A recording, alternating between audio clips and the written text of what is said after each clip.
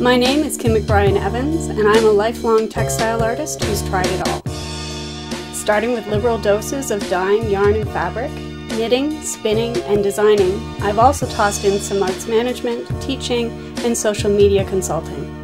Now more than 80% of my customers are outside the country.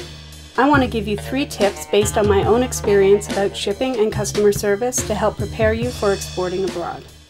Here's my first tip. Make shipping easy.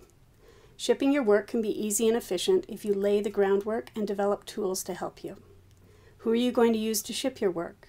Canada Post, FedEx, UPS, and other shipping carriers all have different levels of service and convenience.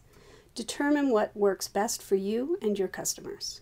In most cases for us, Canada Post has worked well. I can look up rates quickly to quote to my customers. I have integrated my small business account with Canada Post with my PayPal account for combined small business discounts that have given me the best shipping rates for my work that I've been able to find anywhere. I can offer customers different levels of shipping service fast, slow, insured, not insured. It all depends on their comfort level, what they're willing to pay, and the risk they're willing to take. Shipping labels and custom forms themselves they can be filled out and printed online through the Canada Post website or PayPal, taped to the packages, and dropped off at the nearest post office without waiting in line. Harmonized System Codes, or HS codes, are the internationally recognized way to help customs officers around the globe categorize your work. Knowing these codes and entering them on custom forms will help your work clear customs more efficiently. These are easy to reference online. Whether you ship using an online source like Canada Post or PayPal, or whether you're filling out custom forms at the post office, it's worth your while to make a list of the HS codes that apply to your work. In the written transcript of this talk, you'll find three current websites to help you research and plan shipping.